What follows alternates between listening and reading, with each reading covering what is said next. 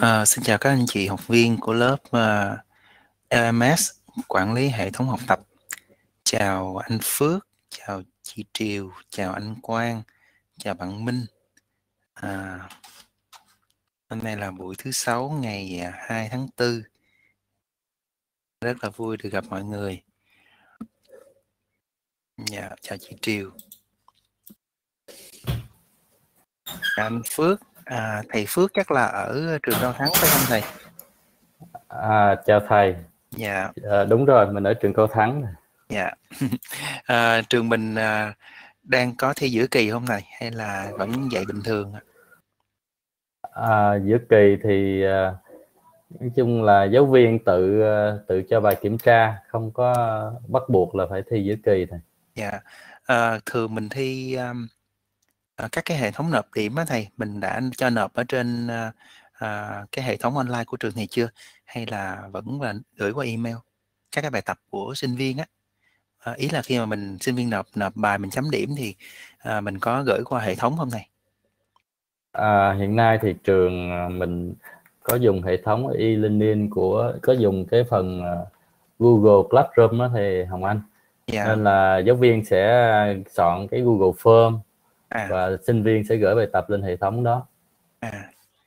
rồi à, mình chấm điểm rồi mình à, à, sẽ gửi email điểm cho sinh viên à, điểm thì trên hệ thống Google Classroom Google Classroom sẽ thông báo tới từng email của sinh viên luôn à, vậy cũng hay cái. Dạ. Google Classroom hiện giờ nó cũng có một chức năng rất là cơ bản cũng tốt Um, dạ rồi, à, cảm ơn thầy Phước và hôm nay là lúc 8 giờ thì bắt đầu buổi học của chúng ta ngày hôm nay trong chuỗi các cái buổi học về cách à, sử dụng EMS trong quản lý đào tạo cũng như là quản lý hệ thống học tập.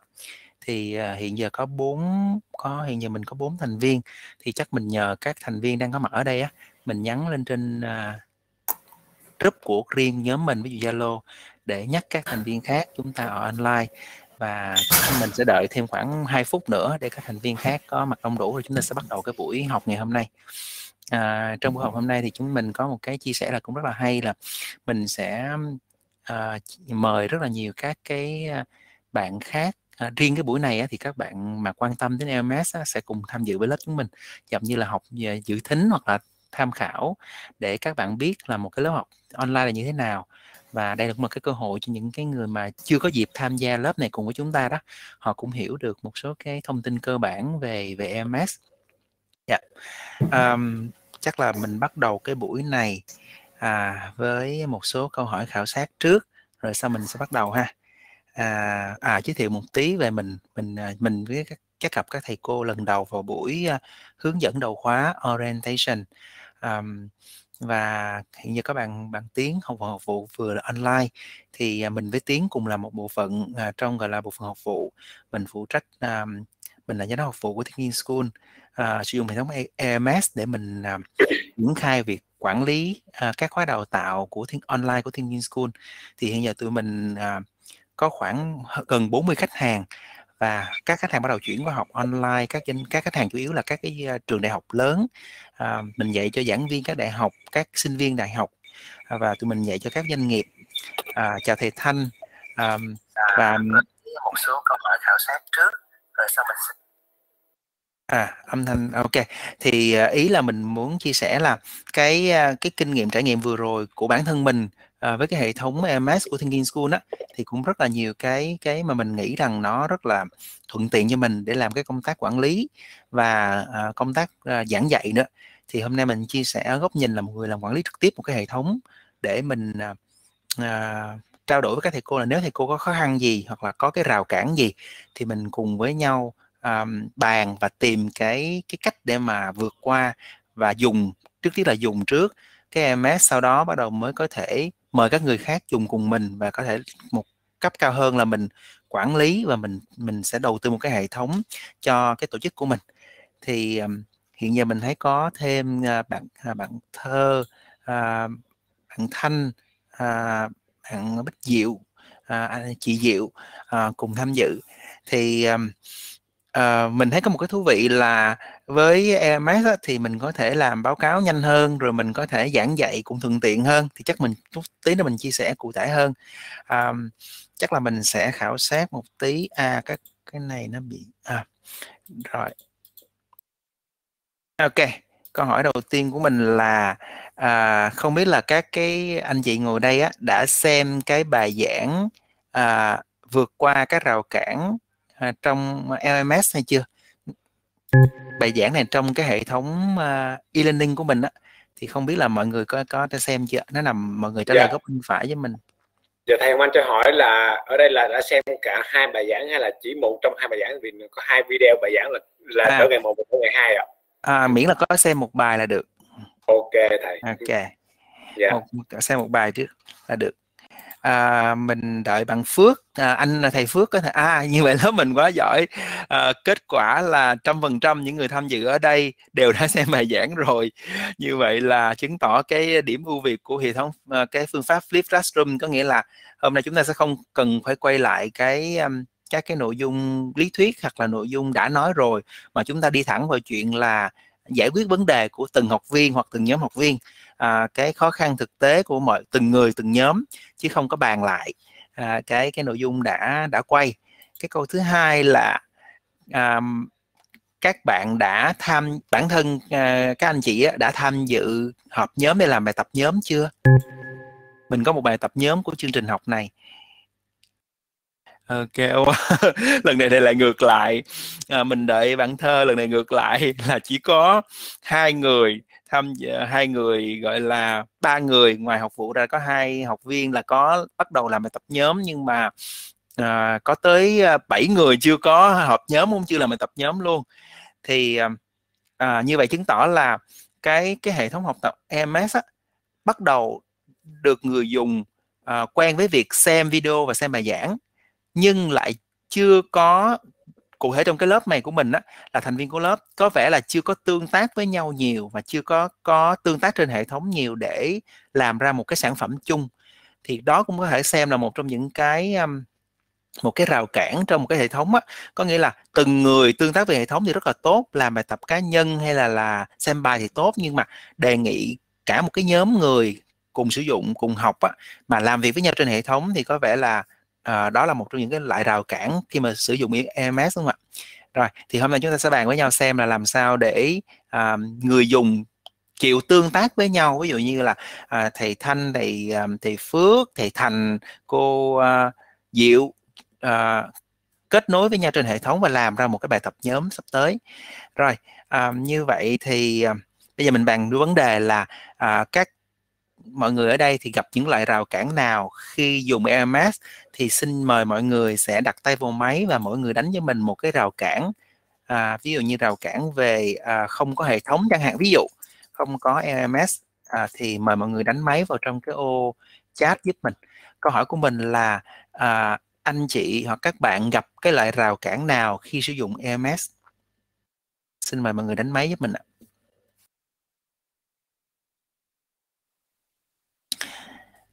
Mình thấy à, mọi người đã đánh máy. À, bản thân mình á, cái rào cản đầu tiên của mình khi dùng MS á, là mình cảm thấy là tương tác một cái hệ thống mới á, mình phải mất một khoảng thời gian khoảng um, một ngày hai ngày để mà mình quen với cái giao diện.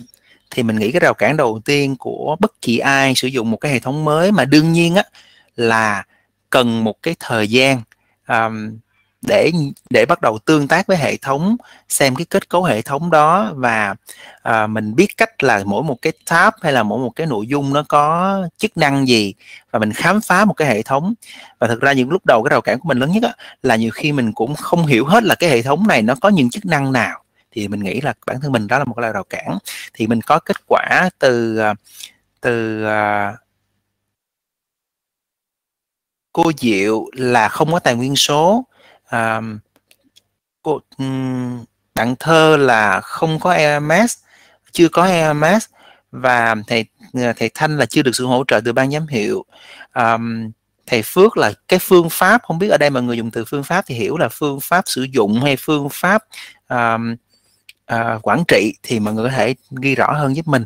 Uh, tìm hoạt động uh, cho nội dung chuyển tải mình hiểu là uh, ví dụ như mình giảng livestream thì hoạt động dạy như thế nào hoặc là mình quay video video thì mình làm như thế nào mình hiểu ý của thầy Quang là uh, như vậy.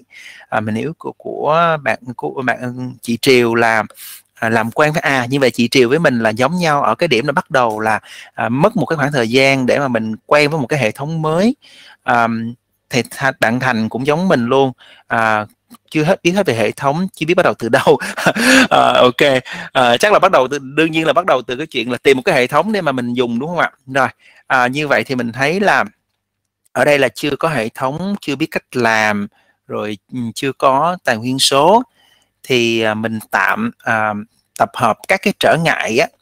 À, ở đây thì cái trở ngại về công nghệ như mình nói á, công nghệ đây là có thể mình có hoặc chưa có có rồi mà phải mất thời gian để để học à, tài nguyên số là thứ mình chưa có. Có nghĩa là mình có một cái hệ thống một cái khung thôi mà mình không có đồ giống như mình có cái nhà mình không có um, đồ dùng không có giường không có bàn ghế thì gọi là chưa có tài nguyên á. À, rồi phương pháp có nghĩa là uh, mình cũng chưa biết cách quay clip mình chưa biết cách uh, up clip mình chưa biết cách uh, kiểm tra điểm chưa biết cách xuất điểm chẳng hạn. Và cái vấn đề uh, về mặt gọi là như thầy thanh có nói là về mặt ban giám hiệu. Uh, những cái người mà kết hợp cùng làm với mình hoặc là tạo điều kiện như mình làm thì họ cũng chưa có hỗ trợ. À, thì đó là những cái à, à, mà mình tổng kết à, sơ sơ phương pháp quản trị. À thì phương pháp quản trị ở đây có nghĩa là à, làm sao có thể à, quản trị đây có thể hai hiểu hai hướng là à, quản trị những người cùng làm với mình trên iOS hoặc là quản trị cái quá trình à, gọi là xây dựng một cái MS hoặc là install gọi là thành lập một cái MS trong hệ thống của mình. Rồi như vậy thì mình tạm phân làm à, bốn à, nhóm đi ha. Thì mình làm một cái khảo sát xem là cái sự đồng thuận của um, của cả cái nhóm của mình hiện giờ đang có khoảng 10 10 thành viên đang online. Thì mình khảo sát coi là cái yếu tố nào cái khó khăn nào được mọi người chọn gọi là được xem là khó vượt qua nhất. Đương nhiên những cái này đều là khó rồi nhưng có cái dễ có cái khó vượt qua. Thì đầu tiên là về mặt con người. Con người đây có thể hiểu là bản thân mình hoặc là người khác ha. À, bản thân hoặc là người khác hoặc là cấp trên. Rồi người khác. Rồi cái thứ hai hiểu là cái cái công nghệ. Công nghệ ở đây là hiểu um, mình hiểu chung là cái cái độ phức tạp hay là những cái um, chưa sẵn sàng của công nghệ chẳng hạn thứ ba là về mặt um, tài nguyên số. Tài nguyên số. Và cái thứ tư là phương pháp dùng hệ thống hoặc là phương pháp uh, triển khai hoặc phương pháp quản trị gì đó. Thì câu hỏi của mình là mình sẽ đưa ra một cái khảo sát và mọi người hãy cho mình biết là bốn yếu tố sau đây yếu tố nào cảm thấy là khó vượt qua nhất và khó um, có thể um, có cách để mà xử lý nó. Xin mời mọi người chọn giúp mình.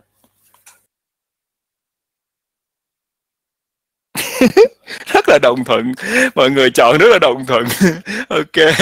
Đố mọi người coi là cả lớp mình chọn cái gì là nhiều nhất ạ? À? con người, công nghệ, tài nguyên hay phương pháp? Mời mọi người. Rất là đồng thuận.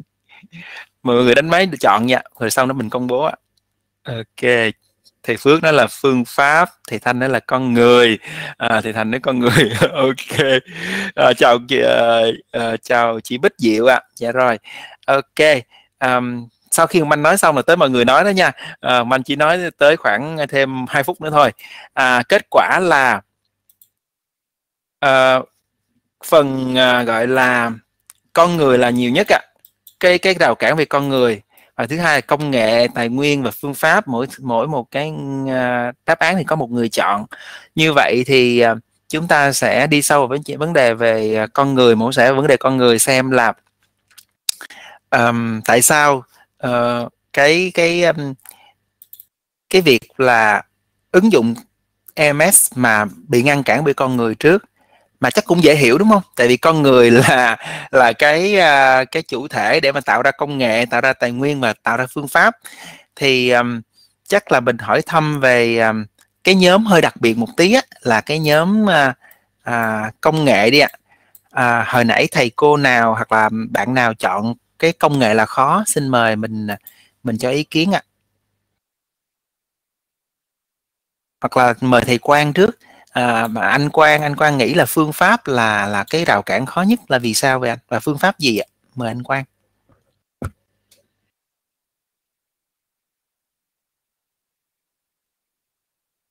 À anh Quang lại à anh Quang có thể nói không ạ?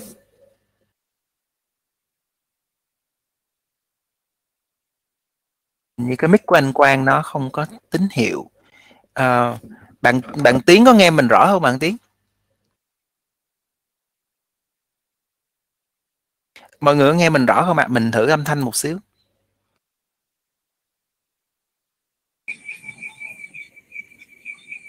Dạ nghe rõ thầy ok như vậy là âm thanh không có vấn đề gì. Chắc là do uh, ok rất là tốt cảm ơn mọi người. Thì như mình nói đó là mình bàn những cái dễ trước đi rồi cái khó mình để cuối cùng mình xử sau. Thì à, mình hôm nay cái chủ đề là mình tìm cách để vượt qua các rào cản. Thì có người nói là ở đây mình thấy là có bạn quan nói về phương pháp uh, thì bạn quan có thể mở mic không ạ? Anh quan ạ. À. còn hoặc là ở đây có người nói là có à ok bạn bạn quan có vấn đề về mic không sao. Uh, như vậy thì ai nghĩ rằng cái cái uh, công nghệ là cái rào cản lớn nhất? Hồi nãy chọn đáp án là công nghệ ạ. Và ai chọn à, là dạ, dạ, dạ mời. em em chọn công nghệ thầy. Dạ mời mời chị Triều công à, nghệ theo chị là sao ạ? À, dạ công nghệ là như vậy ạ. À, tại vì ở đặc điểm ở trường em á, thì trước đây là dạy chủ yếu là theo phương pháp offline á thầy.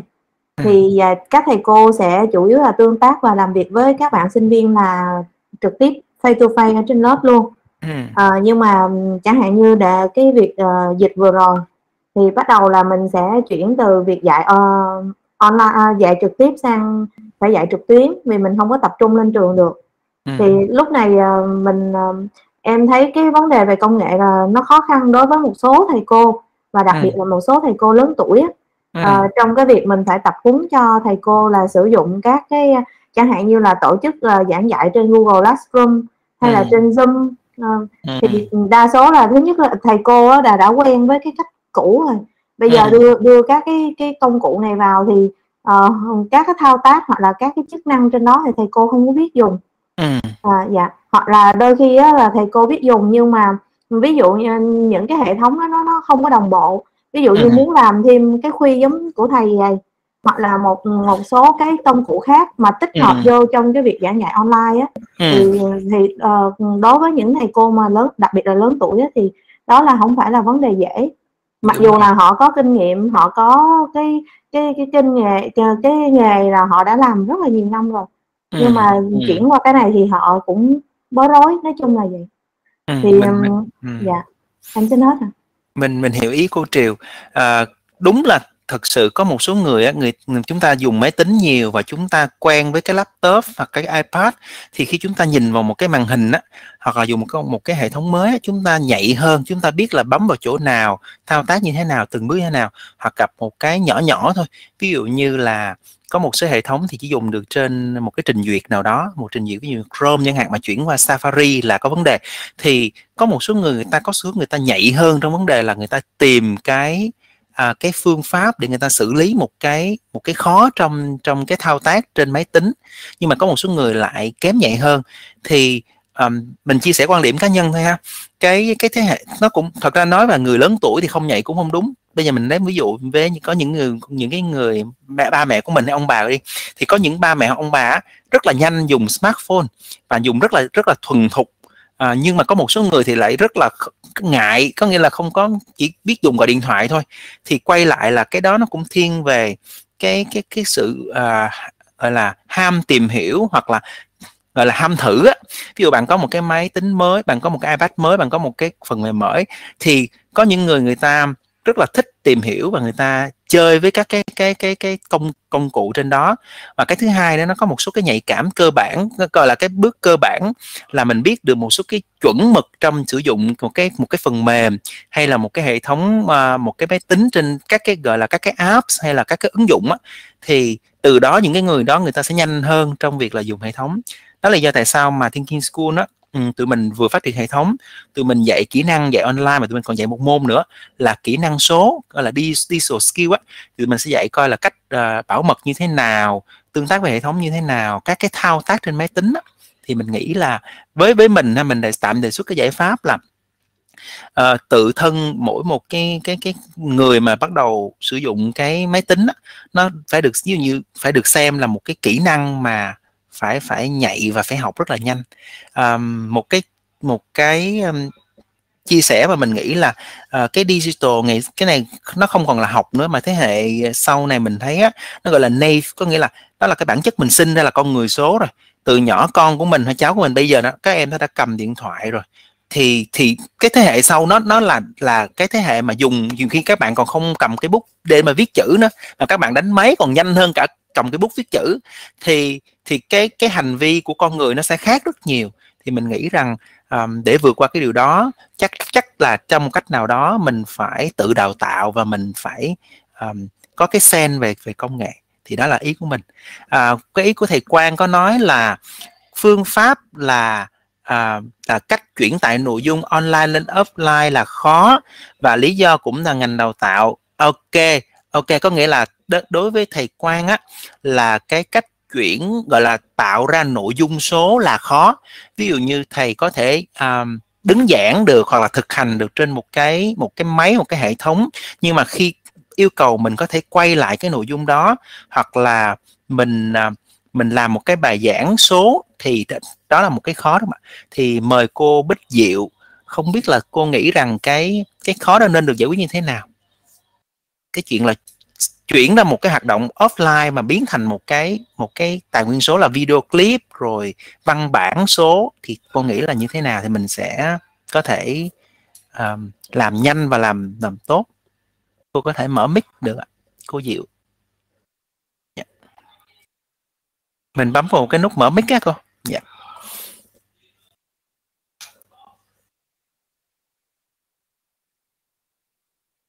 dạ yeah. mời cô bích diệu à cô bích diệu đang mở này dạ yeah. câu hỏi dành cho mọi người uh, trong lúc cô bích diệu mở mic á là Alo. À, rồi à, xin dạ. mời cô dạ yeah dạ thưa thầy cái chỗ anh Quang có à, à trao đổi á, thì theo à, theo mình á, thì là nếu như à, những cái các thầy mà hàng ngày đã dạy offline thường xuyên rồi á thì mình mới đầu mình e ngại là mình sợ nhiều lúc mình lên hình giống như mình diễn nó không có được tự nhiên hay là mình nói nó bị không lưu loát thì cái phần này mình có thể khắc phục bằng cách là à, mình sẽ đứng trước cái ống kính à, tức là mình tự mình quay và những cái clip rồi mình tự mình điều chỉnh. Khi đó thì à, theo mình nghĩ thì cái à, mình sẽ tăng cái độ tự tin hơn. Tại vì khi mình xem lại mình có thể chỉnh sửa được. Chứ còn mình đứng trước à, học viên khi mình đâu có thể lấy lại cái lời nói hay cái cái động tác mà mình cảm thấy là nó có thiếu sót gì đó thì mới đầu có vẻ như là à, mọi người sẽ rất là e ngại cái chuyện đó. Yeah. thì tất cả các cái cái uh, khó khăn á thì nó cũng liên quan đến cái phần con người có cố gắng hay không với lại cái sự hỗ trợ của công nghệ.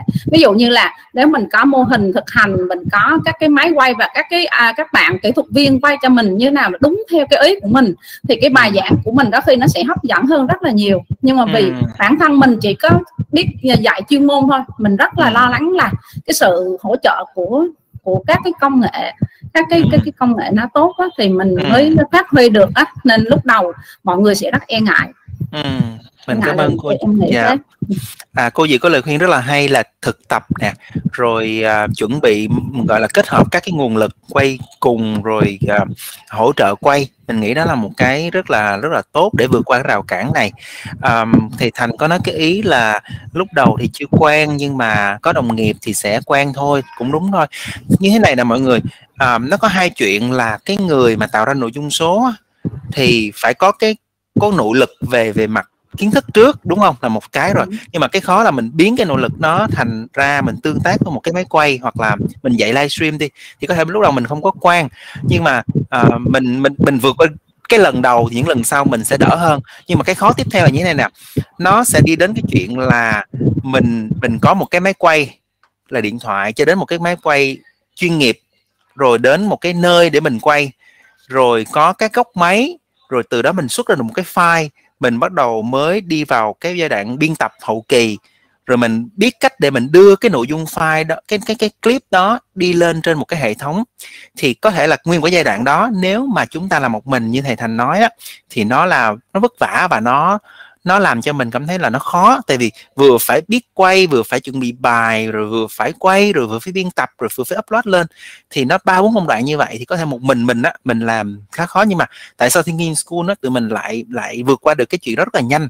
Bởi vì như thế này tụi mình có một cái nghe, tụi mình là một team giảng viên tụi mình sẽ chỉ cho nhau cái cách là một cái bài nói thì nên nói cách nào lúc nào thì quay cùng slide lúc nào thì giảng hai bên cùng với hai thầy nói chuyện đối đáp với nhau lúc nào thì làm kiểu reaction rồi lúc này đó, thì cái đó là cái team giảng viên tụi mình chỉ cách cho nhau. Rồi cái team thứ hai là team, gọi là team sản xuất á, thì mình lại được một cái lợi thế là mình có một cái bạn kỹ thuật viên, bạn có một cái studio thì bạn quay. Thì cái câu chuyện cũng không phải là cái studio nó nó nó cái gì đặc biệt. Mình thấy như thì cô, không có studio vẫn làm được. Thì câu chuyện là bạn cũng chỉ cho mình một cách là ở nhà chọn một cái tường, rồi để một cái màn rất là đẹp, một cái nơi yên tĩnh.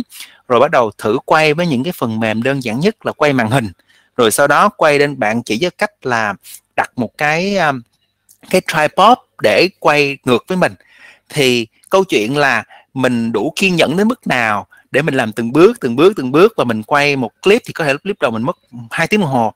Rồi từ từ từ từ mình quen thì thật sự nếu mình thấy những người đam mê cái chuyện mà quay tại bài giảng số á, thì mình sẽ chuẩn bị rất là tốt nhiều thứ.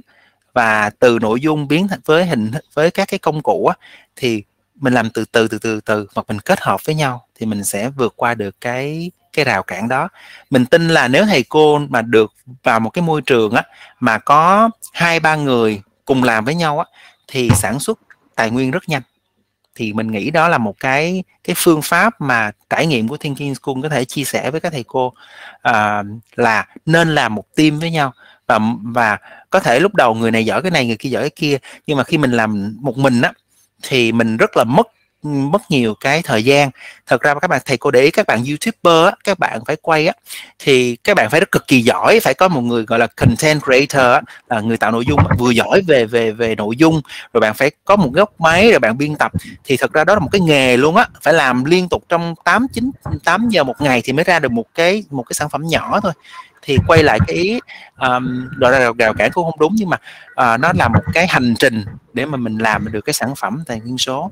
Thì ba cái công nghệ tài nguyên số và phương pháp mình nghĩ nó có cách để mà uh, có cách để mà mình mình cùng uh, cùng tạo ra. Thì bây giờ quay là vấn đề về con người. Thế thì uh, mình mình muốn bàn ở đây á là nó có ba cái quá trình. Cái quá trình thứ nhất là quá trình gọi là như mình email cho mọi người á là quá trình gọi là uh, tìm hiểu uh, gọi là tìm một cái EMS nè. Rồi quá trình thứ hai là ờ, gọi là triển khai đi ha triển khai cái bước đầu á triển khai. Và cái quá trình thứ ba là quá trình gọi là dùng á. Thì mình sẽ muốn bàn những cái con người nào những cái những cái đối tượng nào mà mình phải vượt qua trong cái quá trình này. Và sau đó chúng ta sẽ um, đi vào. Tại vì cái mục tiêu của cái bài giảng hôm nay của mình á là xong cái bài giảng này thì chúng ta biết cái hành trình sắp tới nếu chúng ta dùng EMS hay chúng ta uh, cao hơn là chúng ta uh, áp dụng EMS để tổ chức á, thì chúng ta phải đi đi qua cái quá trình gì để chúng ta vượt qua các cái rào cản đó để cuối cùng chúng ta áp dụng cái EMS cho bản thân mình và cho tổ chức của mình. Thì bây giờ mình uh, mình sẽ có ba bước ha à, mình sẽ cho một chúng ta ở đây có có nhóm lớp mình thì cho mình hỏi lại là lớp mình có bao nhiêu nhóm ạ à? có ba nhóm đúng không ạ cô cô cô cô lựu cho mình biết giúp ạ lớp mình có bao nhiêu nhóm ạ à? dạ em cũng chưa biết chết rồi không biết bao nhiêu là nhóm rồi làm bài tập nhóm khi nào ok lớp mình có bốn nhóm ok lớp mình có bốn nhóm không biết là hôm nay có đủ bốn thành viên không ạ à? À, lớp mình à, cho mình hỏi là ai ở nhóm 1 ạ? À? à, thôi như vậy thì nhanh thôi mình chia làm ba nhóm để cho nó nhanh ha. Tức là à, đâu để à, chút nữa chút nữa. Mình nói cái yêu cầu trước rồi sau đó mình sẽ chia nhóm sau. À, bây giờ cái yêu cầu của mình á là mình có ba giai đoạn để triển khai MS là giai đoạn tìm tìm và chọn ha. Giai đoạn tìm và chọn tìm và chọn chọn ở đây có thể là chọn dùng hoặc là chọn chọn để mà dùng cho mình hoặc cho hệ thống cho cái cái tổ chức của mình. Giai đoạn số 2 là giai đoạn gọi là uh, triển khai đó triển khai bước đầu triển khai bước đầu.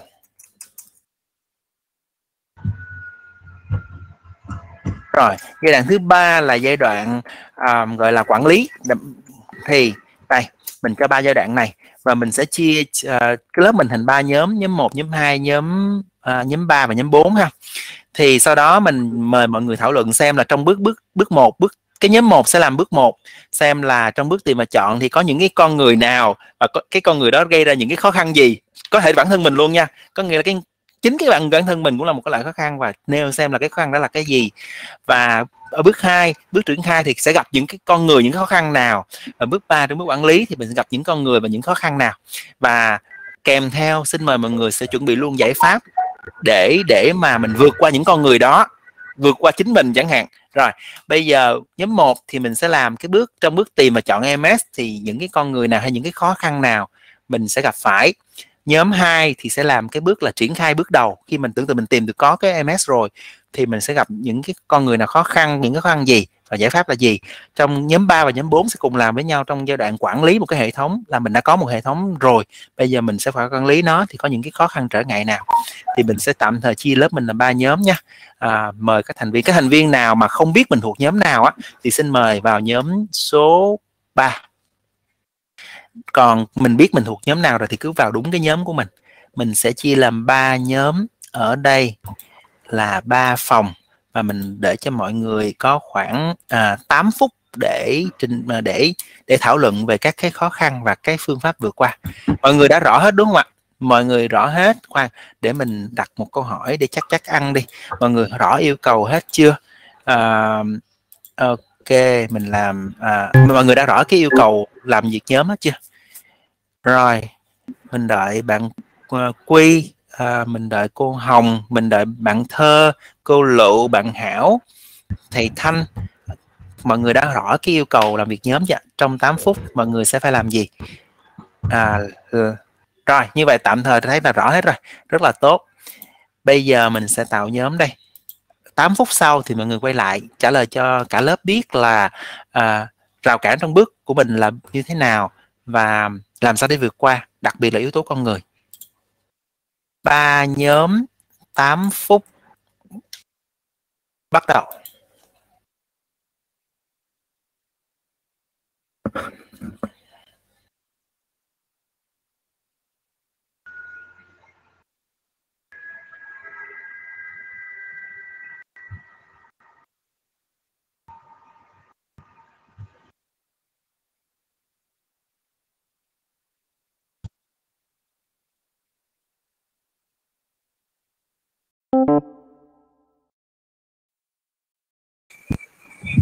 Dạ em chào chị Diệu có duyên mới gặp lại chị à, à được nè được làm việc với Tùng Thành Tùng Thành cũng uh, sôi nổi nè dạ à, em chào chị à. mình dạ, nhóm vâng. hai là nhưng mình mà hôm trước cái... chị Diệu ơi chị à. À. dạ hôm trước em nghĩ em không biết em vào nhóm nào á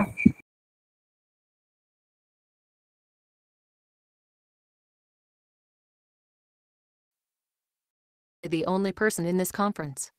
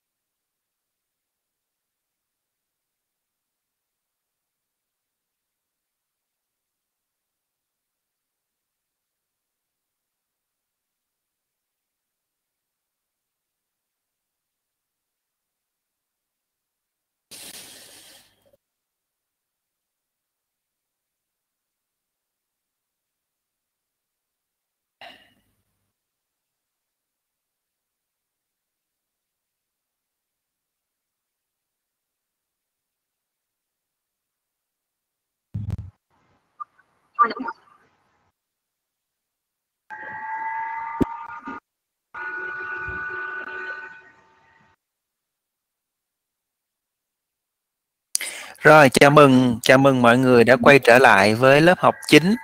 À, sau sau một thời gian mọi người à, à thảo luận nhóm về cách để các cái khó khăn à, trong giai đoạn triển khai EMS hoặc là quản lý EMS và mọi người sẽ đề xuất các giải pháp.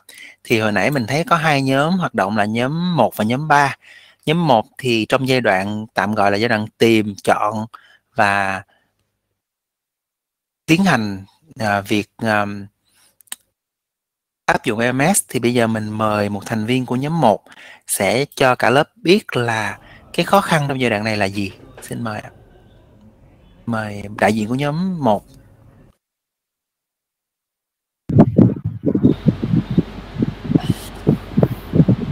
Thanh Thanh nói đi Thanh. dạ em em đang nhắn chatbot để em tính mời chị. Dạ vâng. Dạ vì, vì em xin phép em cũng đại diện dạ em cũng uh, tổng hợp ý kiến từ uh, phía thành viên trong nhóm thì gồm có là cô diệu có cô hạnh với lại cô tu á. Em tổng hợp là như sau à thì thứ nhất là có thể thấy là cái khó khăn lớn nhất là liên quan tới câu chuyện về con người đặc biệt là ban giám đốc ban giám hiệu thì thì họ cũng chưa từng sử dụng qua và họ cũng chưa thấy được hiệu quả của nó. Thành thử nên trong cái bước đầu tiên là cái bước tìm và chọn hệ thống á, thì chính vì là chưa được sự hỗ trợ từ phía ban giám hiệu nên việc mình tìm được một cái đơn vị để có thể hỗ trợ mình trong việc triển khai LMS em thấy là đó là một là nhóm em thấy là một cái thách thức cái khó khăn thứ hai đó là để mình tìm được rồi. Nhưng mà để đơn vị đó họ gia công đúng theo những cái yêu cầu của mình thì là thật là khó khăn thứ hai.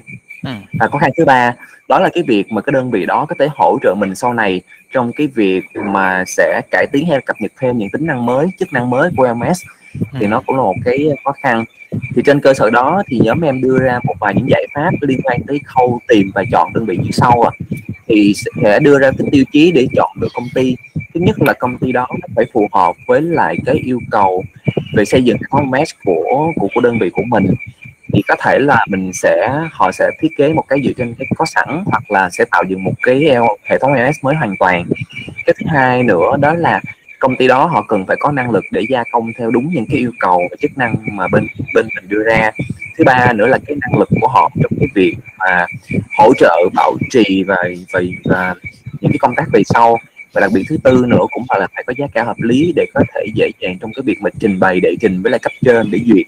Dạ thì đó là những cái tiêu chí giải pháp mà nhóm em đưa ra trong việc tìm và chọn doanh nghiệp ạ. Ừ, cảm ơn thầy Thanh rất là đầy đủ về uh, các cái bước rồi cũng các giải pháp rất là tốt.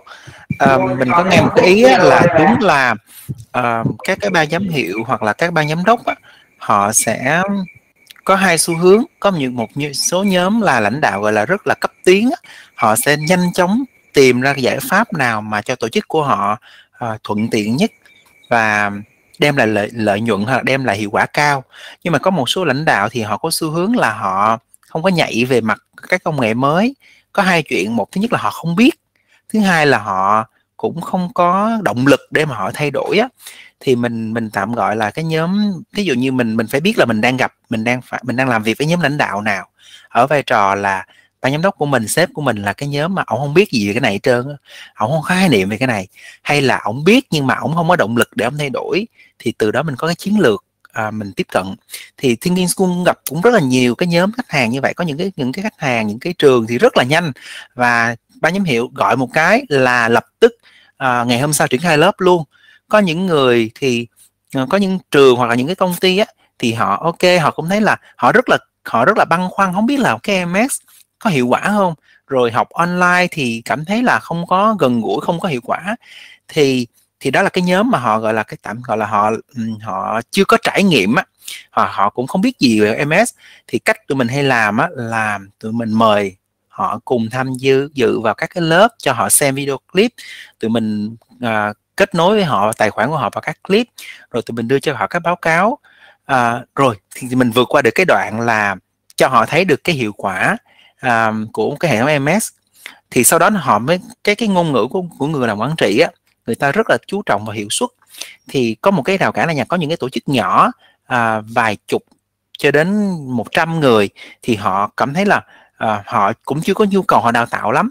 Rồi rồi họ cảm thấy là nếu mà đông hơn á thì họ mới cân nhắc xem là à tôi đầu tư một cái hệ thống ví dụ như à, 10.000 đô 20.000 đô thì cái cái hiệu quả mang lại là cái gì? Và họ có và câu hỏi rất quan trọng là cái cái độ bền vững và quan trọng hơn nữa là cái chi phí trên đầu người á thì nếu mà các bạn là cái người gọi là phải thuyết phục hay là phải giới thiệu ở cái cái cái độ gọi là hiệu suất của một cái hệ thống á, thì bạn sẽ phải cùng bàn với cái cái người làm hệ thống đó và tìm hiểu các cái chỉ số đó.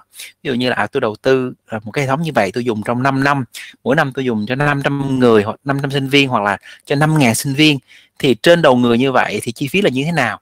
Mà mình làm một cái bài toán như vậy thì tự động cái người sếp họ sẽ họ sẽ rất là dễ dự toán uh, cho cái một cái hệ thống MS trong giai đoạn là uh, lên kế hoạch. Rồi à, bàn tới cái chuyện là cái nguồn cái nguồn à, cái nguồn kinh phí đó từ đâu? Thì mỗi một tổ chức mỗi một năm đều có cái cái phần gọi là đầu tư. Thì có chuyện là duyệt cho một cái hệ thống đầu tư về về cơ sở vật chất bàn ghế hay máy đó, rất là nhanh.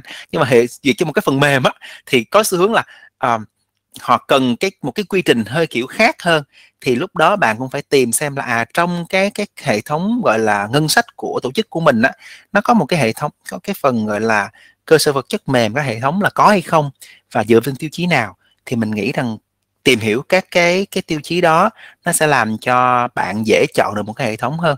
Cái mà mình muốn chia sẻ tiếp á, là con cái cái chỗ thầy thanh có nói và nhóm một có nói á, là uh, cái việc tìm được một cái đối tác một cái đơn vị mà có thể hiệu chỉnh được rồi thiết kế được các cái chức năng theo như kỳ vọng của tổ chức của mình á thì đó là một cái đúng đúng là một thách thức. Tại vì các bạn để ý là các bạn dùng Google Classroom á thì bạn đâu có thể yêu cầu uh, Google nó điều chỉnh gì cho bạn đâu. Có gì bạn xài đó.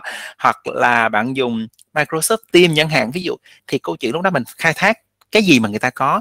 Còn ở tới cái cấp mà bạn kỳ vọng uh, một cái hệ thống có bảo trì có uh, thiết kế chức năng á, thì lúc đó mình sẽ phải hiểu rằng mình phải à, cái tổ chức mình sẽ phải chuẩn bị một cái ngân sách hoặc là nó đủ lớn về mặt số lượng người dùng hoặc là cái độ cái cái tính dài hạn về chiến lược á để mình ok mình tìm một cái đối tác chiến lược để có thể lúc đầu mình dùng thử thôi. Mình một hệ thống khoảng chừng 30 triệu à, để mình biết để học thử một hai lớp mà quen rồi mình thấy là có hiệu quả mình tuyển sinh được học trò kết quả tốt thì từ từ á rồi mình mới có thể mình planning cho à, các hoạt động tiếp theo.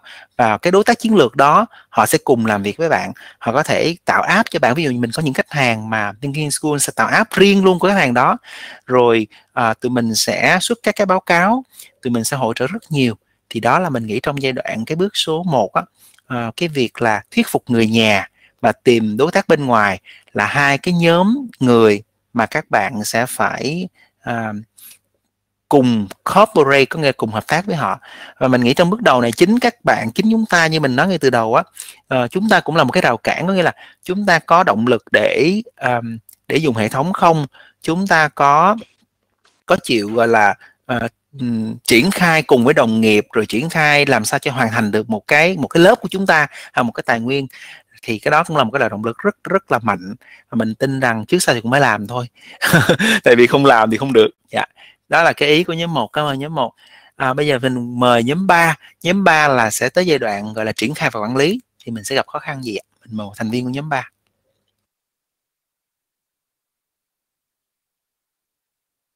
thành viên em dạ mình em ờ, xin phép uh, đại diện cho nhóm 3 để trả lời. Ở đây thì dạ. vừa rồi thì trao đổi nó cũng hơi ngắn là dùng đánh tin nhắn nó cũng không được tiện lắm. Thì bên nhóm em thì rất cảm ơn cho thầy Quang đã góp ý và đưa ra các cái phân loại về đối tượng với giảng viên thì thầy đưa ra là, nhóm đưa ra là chưa quen với hệ thống thì cái giải pháp thầy cũng đưa ra luôn là mình sẽ phải kèm cặp hỗ trợ để đào tạo các thầy cô giảng viên để thành ờ, quen thuộc hơn với hệ thống và sử dụng nó trong suốt quá trình ờ, giảng dạy. Còn về phía học viên thì ờ, các thầy cô cho nói là vì nó không tham gia đầy đủ, không giám sát được quá trình học tập của học viên thì nhóm đề xuất là sẽ phải, cái việc vai trò của người quản lý lớp thì sẽ phải theo sát cái việc học tập của các bạn học viên và phải à, nhắc nhở các bạn thường xuyên hơn để làm sao mà đảm bảo được cái cái cái thời lượng tham gia của các bạn. Về phía quản lý thì à, cái chỗ này thì em xin phép vừa rồi cũng không thể ghi chép được hết có ý của các thầy cô thì em có những ý kiến bổ sung ở đây. Ví dụ về à, vấn đề quản lý thì là chưa khai thác hết được cái tiềm năng của hệ thống. Tức là mình cũng chưa hiểu hết hệ thống nên là khi trong quá trình quản lý thì mình cũng không uh, thể hiểu được và triển khai được. Ví dụ như bên phía trường em thì có sử dụng hệ thống e-learning, hệ thống Moodle, thì cái vai trò quản lý đây thì mình đánh giá các cái tính năng của của của hệ thống ấy thì mình cũng chỉ dựa được trên một số cái tính năng quen thuộc mà đi up tài liệu lên rồi quản lý cái test cho các bạn làm khảo sát vân vân. Còn những cái tính năng khác như thống kê, giờ giảng, tiến độ làm bài vân vân thì cũng chỉ một số thầy cô nắm được, còn đại đa số quản lý thì cũng sẽ không tham gia trực tiếp.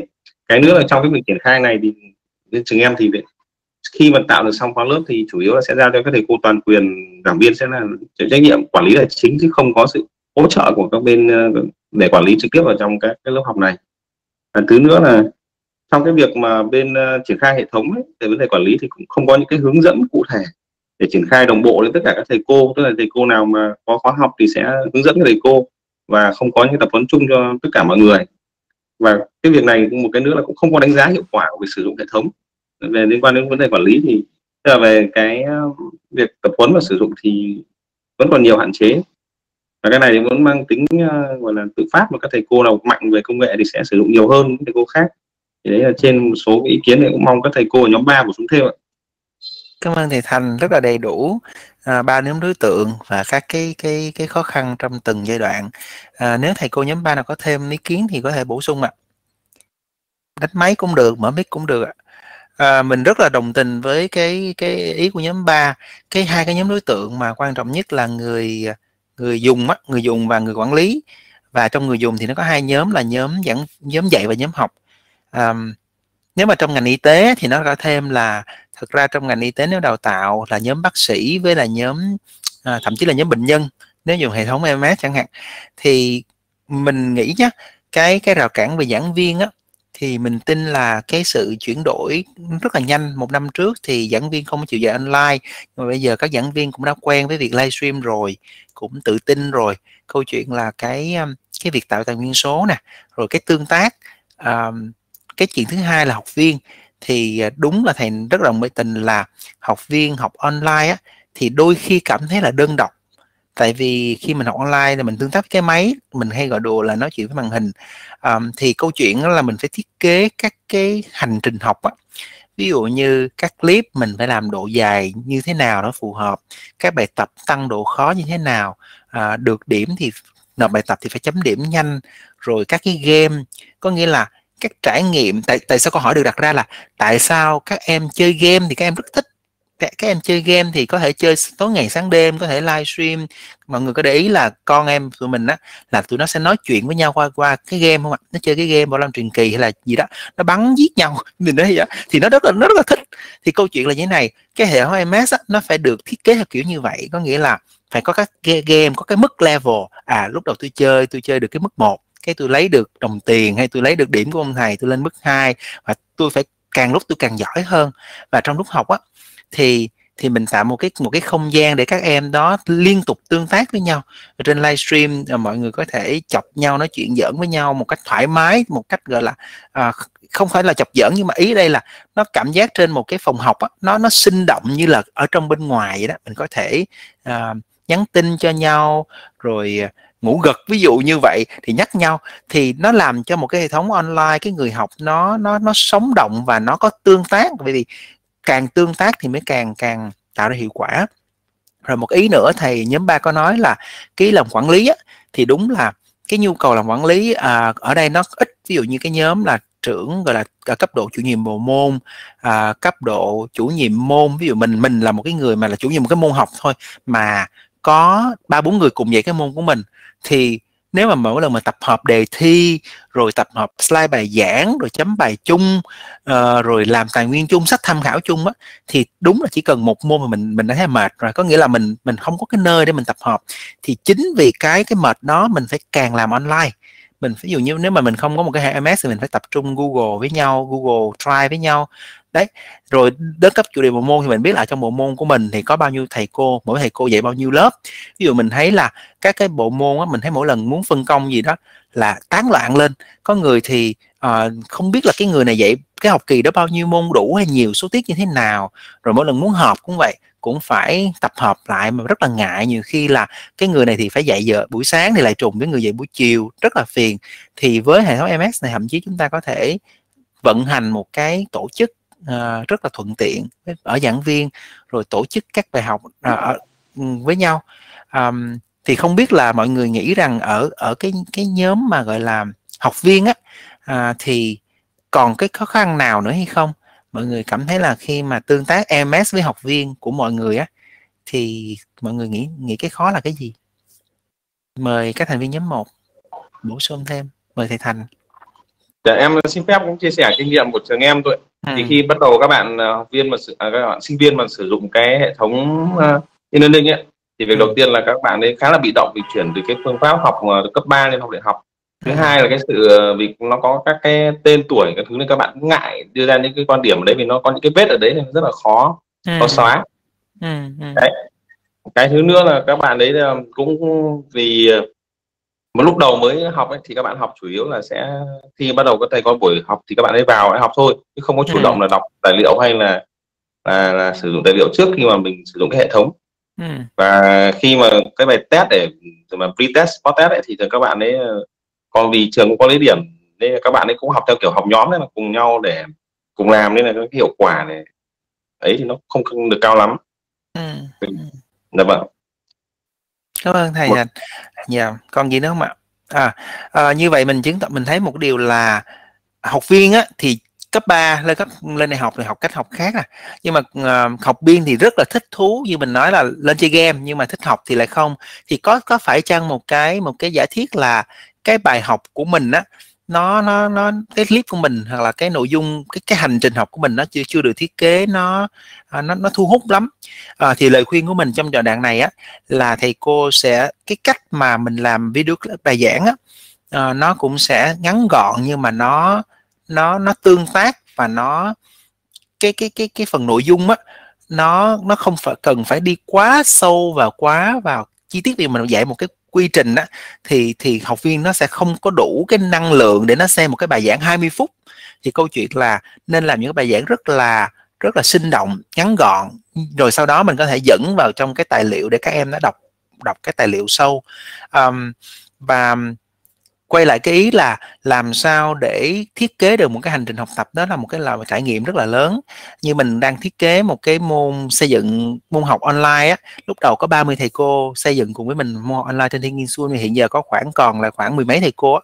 Thì cái trải nghiệm mà mình triển khai một cái lớp cho bao nhiêu bài tập một hay hai bài cá nhân một hay hai bài nhóm ờ, uh, 5 bài quy hay 10 bài quy uh, đó thì lúc nào làm cái gì á, thì cũng là một cách để mà mình mình vượt qua được cái rào cản để kích thích các em nó học tập online. Mình nghĩ là cái đó là cái rất là quan trọng. À, ở đây mình chia sẻ một cái khái niệm gọi là tập huấn hồi nãy mọi người có nói á. thật ra kinh nghiệm của mình nhé à, đẩy một cái file hướng dẫn à, văn bản mà năm trang giấy toàn chữ rồi yêu cầu làm trong ví dụ trong Moodle đi một cái tương tác à làm bước này làm bước kia thì chắc chắn không ai làm nổi hết thì ở đây Thinking School tụi mình thì có xu hướng là mình sẽ làm từng cái đoạn clip nhỏ hướng dẫn từng cái công đoạn livestream sao post bài làm sao làm quy làm sao à, điểm danh làm sao. Thì những cái đoạn nhỏ nhỏ nhỏ nhỏ thành một cái cấu phần lớn. Thì cái cách đó nó làm cho người học á người ta cái người không phải người học mà cái người sử dụng hệ thống nó người ta dễ theo dõi hơn là cái việc là người ta đọc một cái văn bản. Rồi um, người ta muốn làm một cái một cái hành động livestream thôi, thì người ta chỉ cần vào xem một cái clip và người ta làm từng bước từng bước từng bước một. Thì, và cái cách đó mình nghĩ nó nó làm cho người học dễ thuần thục hơn. Còn một ý nữa là tập huấn mà, tập huấn bằng cách gọi là ở trên giảng ở dưới ở dưới gọi là nghe thì không bao giờ dùng được LMS đâu. Tập huấn tốt nhất là gì? Là như thầy cô á, trực tiếp đi học cái lớp này rồi trực tiếp làm bài trực tiếp nộp bài upload bài trực tiếp quay clip thì gọi là learning by doing á thì mới mới quen với hệ thống thôi. Còn nếu mà tập huấn gọi là đọc tài liệu á, thì rất là khó để mình mình có thể vượt qua cái rào cản là dùng được một hệ thống. Thì đó là cái mà mình có thể chia sẻ với nhóm số 2 trong giai đoạn làm uh, ờ, triển khai. Thế thì tới tới đoạn này mình muốn hỏi thăm cả lớp mình á thì với những cái nội dung mình nói nãy giờ thì mọi người vẫn còn cảm thấy cái gì là cái khó? Thì mọi người có thể uh, chia sẻ. Cái gì mà cảm thấy nó rất là gọi là gọi là rào cản á mà làm cho cái chuyện EOS nó nó chưa có được nó chưa có được gọi là phổ biến. Có mời thưa cô hạnh ạ. Theo cô hạnh thì sao ạ? Alo mình dạ, chỉ thấy là dạ. ờ, mình chỉ thấy là cái cái vấn đề học mà online nó chưa được uh, tức là chưa chưa được uh, quan tâm đúng mức ừ. thì cũng hiện tại ở chỗ mình mà cũng thế nguyên nhân chính là mọi người chưa hiểu yeah. Dạ. về về uh, và cũng chưa trải nghiệm nên là chưa chưa chưa tận hưởng được chưa cảm nhận được những cái tiện lợi và những cái uh, gọi là cái cái tiện lợi và những cái lợi ích mà mà LMS đã cho người học thì chính vì thế mà mình tham gia cái khóa học này và tới mình thấy rằng là nghĩa vụ của mình thì phải truyền tải cái cảm hứng này cho các anh chị em và hy vọng rằng. Dạ. là sắp tới thì cũng ờ, sẽ tạo được một số các cái chương trình để cho mọi người tham gọi là trải nghiệm. Dạ. Cảm ơn. Dạ cảm ơn cô Hạnh. À, một cái cảm hứng cô Hạnh sẽ truyền như thế này cô. Cô có tưởng tượng đi mình mà phải dạy 5 lớp nhá năm lớp mà ở dạy ở ba ba cái chi nhánh đi hoặc ba cái trường đi thì một tuần mình di chuyển như thế nào mình không tưởng tượng đến cái mức đó đâu bây giờ mình rất là sợ nhận lớp offline tại vì á mọi người cứ tưởng tượng mình dạy một cái doanh nghiệp đi là mình phải 4 giờ sáng mình phải thức dậy rồi rồi đi xe lên ra, ra tỉnh rồi mình dạy liên tục trong 8 tiếng mình tưởng tượng mọi người tưởng tượng nha năm năm cái năm 2019 trước dịch đó, là mình mình dạy khoảng 60 ngày dạy cho các doanh nghiệp đó. thì có nghĩa là cái cái mình mình phải đứng liên tục các cái ngày rồi mình dạy liên tục ở nhiều tỉnh đó, thì thì năng suất rất rất gọi là cũng có năng suất nhưng mà cái hiệu suất về về mặt công việc đó, nó rất là cực. Và mình không thể nào làm được cái gì mới hết. Thì quay lại với hệ thống MS thì mình lưu trữ được bài giảng. Mình chia sẻ bài giảng rất nhanh. Mình có thể làm mình vừa làm việc quản trị trong công ty của mình à, của của nhóm tụi mình mà vừa có thể giảng dạy cũng cũng khá là là ổn à, không có bị áp lực quá. Thì mình tin là cái cái cảm hứng đó làm cho mọi người sẽ biết là à nếu mà mọi người ở đây mình nghĩ là tham dự lớp này á, thì chắc chắn mọi người sẽ hướng đến cái việc là làm quản trị trong đào tạo hoặc là trong bệnh viện hay là trong cái hoạt động quản trị. Thì chỉ có hệ thống này nó mới giúp cho mọi người quản trị được nhiều lớp nhiều thầy cô nhiều chương trình. Dạ. À, thầy thanh có nói một ý là à, ok cảm ơn thầy thanh. À, và cuối cùng thì mình nghĩ không thì cuối cùng mình muốn chia sẻ với mọi người á cái quá trình mà làm cái gì mới á nó là một quá trình thay đổi bây giờ kêu mọi người dùng một cái điện thoại mới đi. Từ Samsung qua iPhone mọi người cũng phải cần một ngày để quen. Um, thì cái quá trình thay đổi đó nó nó có những giai đoạn về mặt cảm xúc. Thực ra cái cảm xúc con người á, nó rất quan trọng. Nhiều khi mình thấy khó quá ngày từ đầu mình bỏ luôn mình không có làm. Thì à, mình cũng bản thân mình cũng phải áp dụng cái chuyện này hàng ngày. Mình làm việc với các thầy cô đối tác á, thì mình cũng từ từ chia sẻ với họ. Lúc đầu cũng cũng sẽ có xu hướng là là nói rất là nhiều thông tin nhưng mà mình hiểu rằng phải đi từng đoạn từng đoạn để cho họ cảm thấy họ đi cái con đường này nó từ tốn và nó đi vào được cái um, từng bước á, chứ đừng kỳ vọng à thầy cô vào cái phòng studio thì cuối buổi chiều thầy cô ra được một cái clip xuất sắc. Thầy cô có thể có một cái môn học online liền thầy cô có thể dạy học trò uh, có điểm liền. Nó là không phải là như vậy nó là quá trình là uh, từ hiểu cái MS cần cho đến mình lo mình không làm được rồi mình băn khoăn rồi có thể mình gặp một số chống đối của đồng nghiệp chẳng hạn. Nhưng mà cuối cùng mình cái quan trọng á, là mình nếu mình muốn thuyết phục đồng nghiệp á, thì mình phải cho họ từng bước. Ví dụ cho họ xem clip của mình trước à, mời họ quay cùng mình à, chia sẻ với họ quy cách làm quy rồi từ từ mời sếp vào xem hệ thống rồi bắt đầu tìm các đối tác chẳng hạn để mà cùng làm với mình. Thì từ đó nó nó cái quá trình thay đổi nó là quá trình gọi là từ từ A lên A phẩy lên A phẩy phẩy rồi mới đến qua B. Chứ không kỳ vọng được là từ chưa bao giờ dùng một cái MS chưa bao giờ dạy một cái lớp online chưa bao giờ dạy livestream mà có thể tự tin đầu tư hoặc là uh, triển khai MS cho cho bộ phận thì cái thông điệp cuối cùng của mình là như vậy. Và hy vọng mọi người có thể thay đổi được à, bản thân ờ, bản thân mình cũng phải thay đổi hàng ngày thôi. Càng lúc hệ thống của bên mình nó sẽ phức tạp hơn nó có nhiều tụi mình phải tạo game nhiều hơn thì tụi mình cũng phải học và uh, thay đổi người khác. Giống như là tụi mình bản thân tụi mình cũng rất là muốn chia sẻ và cùng các thầy cô thay đổi cái cái cái cách nghĩ về EMS rồi đó là cái phần mà mình muốn chia sẻ ngày hôm nay. Không biết là mọi người có câu hỏi nào hay không ạ? Uhm, mọi người có thể mở mic hoặc là đánh máy. Ok cảm ơn cô diệu. Thầy thành có câu hỏi gì không ạ? Dạ em muốn hỏi một chút về phía dạ. của em thì bên hệ thống Moodle ấy thì không có dạ. cái việc mà có livestream thế dạ. bài giảng thực tế là vẫn phải chỉ đưa bài giảng hoặc là video lên được thôi. Cái việc dạ. tương tác giữa thầy cô và học uh, viên nó cũng có hạn chế.